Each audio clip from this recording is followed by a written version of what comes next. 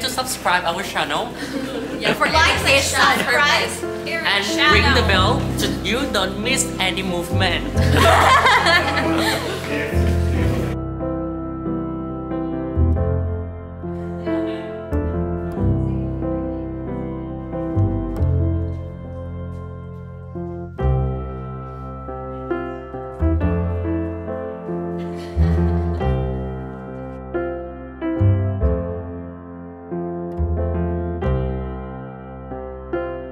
have a PET CT, so we have human imaging, but we also have um, preclinical imaging. So we have a whole floor that's dedicated to preclinical imaging using mouse models, um, and on that they've got CT and MRI and PET MRI and and SPECT, and they've got a 19, 16.4 is our Tesla MRI is our highest field strength but that can only be used for small samples, whereas this is our um, highest field strength for an MRI. This is the 7 Tesla, which is one of two in Australia, or two in the southern hemisphere, and there's only about 40 in the world at the moment.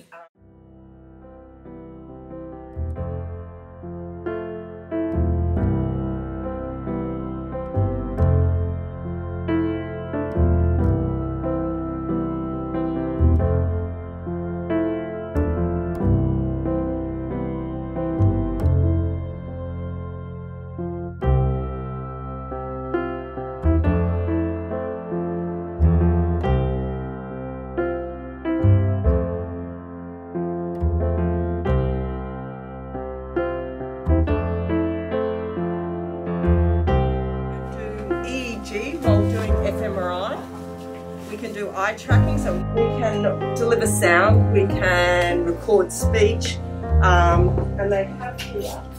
I'm just going to. Does somebody want to do metal? Take off your watch and anything metal on you. Okay. Okay. Yeah. So can you see his response there? Oh no, I haven't turned it on. Whoops. Let me do that. So, what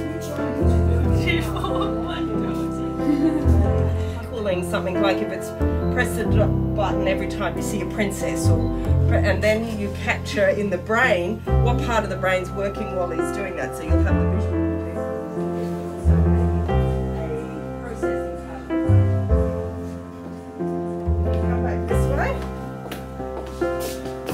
Good? We got you. So he's lying there and he's looking, but if you also see I've got a head dummy in there. Patients who've lost language afterwards. Um, what else have we done? Lots of things. We can also do track movement. So we can put um, sensors on it. We can deliver shocks. So we've done studies where we're looking at um, fear, where you see a shape and if you're a certain shape you get um, a shock and then we can... to it was to establish Australia's first comparative oncology facility. Um, so a lot of the work that happens on this scanner here is oncology based. Uh, we have a cyclotron on site down in level one uh, where we're able to produce our own radiopharmaceuticals. Um, and we're looking at novel traces um, and different drug delivery mechanisms. So the scan that you can see up on this screen here is um, a PET CT scan of the canine prostate. Um, this dog has been diagnosed with prostate uh, carcinoma. Um, and you can see here that this, the two scans on the left here um, show sort of what's currently being used in clinic with a PSMA target. Um, you can see sort of the tumour actually resides sort of out in this area of the prostate gland. Um, but the type of tracer that we've been using is insensitive. Everybody know what facial expression you make when uh, you're happy or positive emotion. What happens? Smile. Yep. smile. Excellent. And if we are unhappy or negative emotion, what do we do? Exactly. So that's the basis of what we're looking for today. So here, if you just smile for us, please.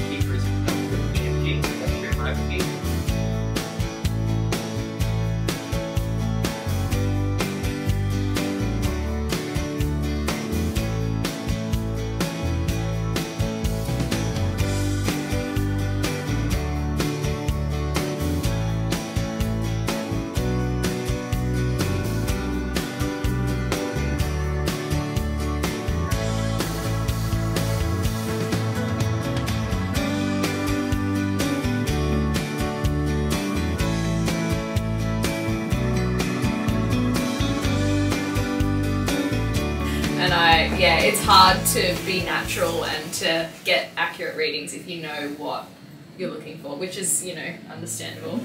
So when a participant originally comes in, they're quite blind about what we're doing because they're generally first year psychology students. So we'll come in, we'll look them up and say we're just uh, putting some biosensors on your face and that uh, they're just recording some physical signals. We don't tell them that it's actually recording the muscle activity and we're looking at their emotional responses. We do uh, inform that afterwards, give them a debriefing sheet and tell them what uh, our whole study is actually about, just because ethics. And we want them to know